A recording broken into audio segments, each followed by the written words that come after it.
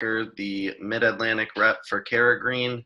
I am based here in Washington, D.C., coming to you from my home office. Uh, just wanted to take the time to introduce Geos to you. It's our new recycled glass countertop.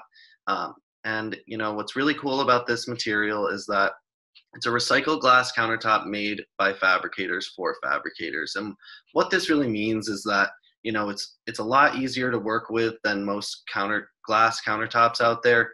It has a proprietary resin binder, which makes it um, very similar to the way it fabricates um, compared to a engineered stone out there. So most fabricators are extremely comfortable with this countertop, cutting, finishing, installing, etc. There's no pop outs with the glass and um, really makes a, a, easy product to get out there into the field. So we're really excited to launch this. And now I'm going to get a little bit into the more interesting side of Geos. Um, so, you know, at Green, we're really passionate about biophilic design, taking cues from nature and incorporating them into our interior environments. And Geos is a great material to do that. Ken Trinder, the founder of Geos, is a huge traveler, loves to be outside, loves to surf, and has actually named each Geos color after one of his favorite travel destinations or a object in nature that he has affinity to. So let's jump right in. I'm going to go over with five of the colors with you today and uh, let me know if you want any samples. Feel free to hop on our website and request any that you'd like to see. So the first color I'm going to go into, it's going to bring you some warm weather vibes in this winter cold month time.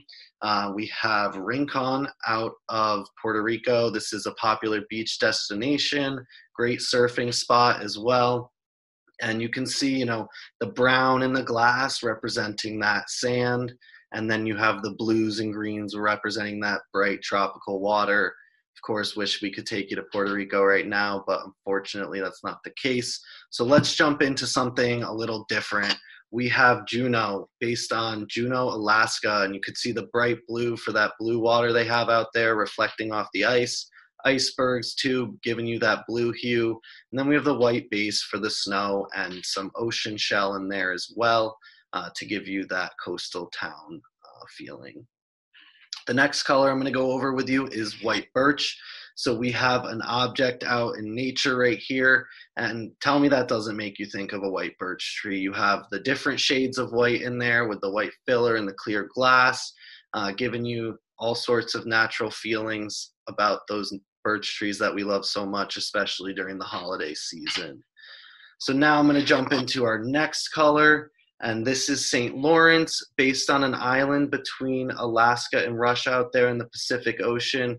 Gets pretty cold out there, and they have some brutal winters, so we're feeling those gray colors right now. Got some uh, clear glass to give you that ice feeling, but definitely giving you a cloudy, snowy look right there.